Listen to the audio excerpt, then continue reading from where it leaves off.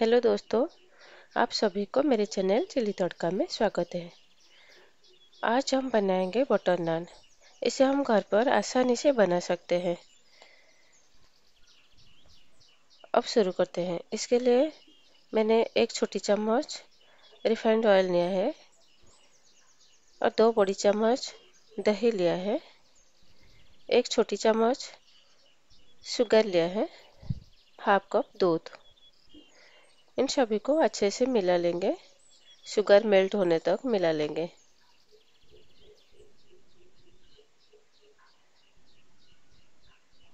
अब दूसरे बाउल में डालेंगे दो कप मैदा और एक कप आटा। हाफ़ छोटी चम्मच बेकिंग पाउडर, एक चौथाई छोटी चम्मच बेकिंग सोडा और स्वाद के हिसाब से नमक। अब इसको छान कर मिलाएँगे, जो दूध और दही का मिक्सचर बनाए थे, इसमें डाल लेंगे। और थोड़ा थोड़ा दूध डाल के इसका डो बना लेंगे।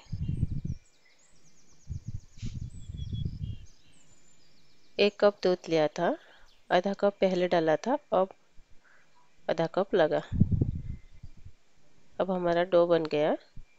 इसको 15 मिनट के लिए रेस्ट करने देते हैं कवर करके।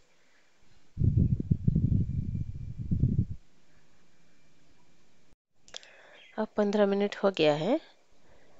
इसका छोटा छोटा पेड़ा बना लेते हैं। अब जितना बड़ा नान बनाना चाहते हो, उसी हिसाब से पेड़ा बनाए।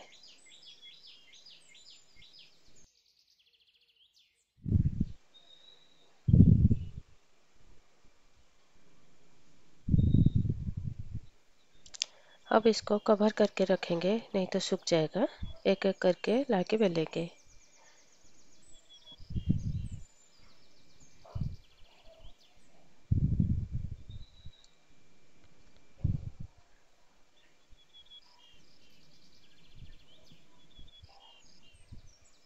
अब इसको बेल लेंगे।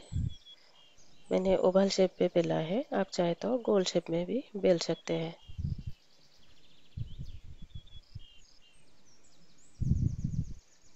अब इसके ऊपर थोड़ा सा काला जीरा और धनिया पत्ता डाल के धीरे से बेल लेंगे।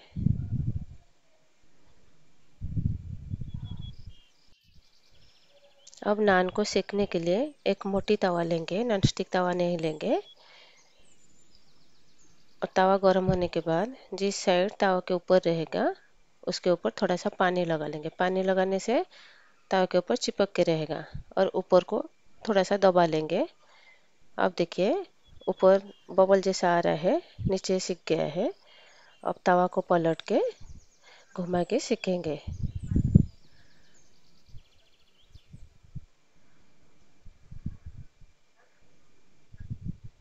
अब हमारा दोनों साइड सीख गया है।